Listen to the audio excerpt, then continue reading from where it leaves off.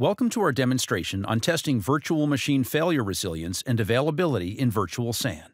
Here we have a virtual machine created for our test and dev infrastructure. This virtual machine has storage policy attributes set to ensure availability with a RAID 1 configuration and an additional stripe width.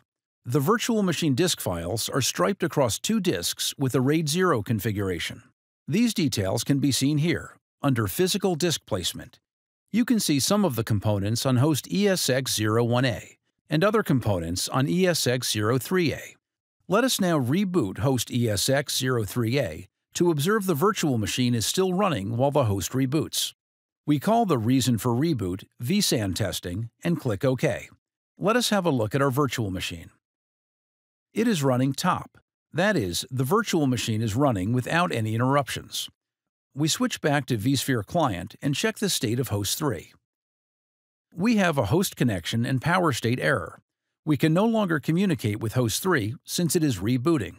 Let us look at our virtual machine once more. Navigate to Physical Disk Placement. Close the alarm. You can see some of our components are absent. These components were on host 3. However, the virtual machine is still running.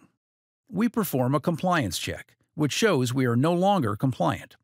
Upon further investigation, we find the components are missing in the virtual machine home and the virtual machine hard disk.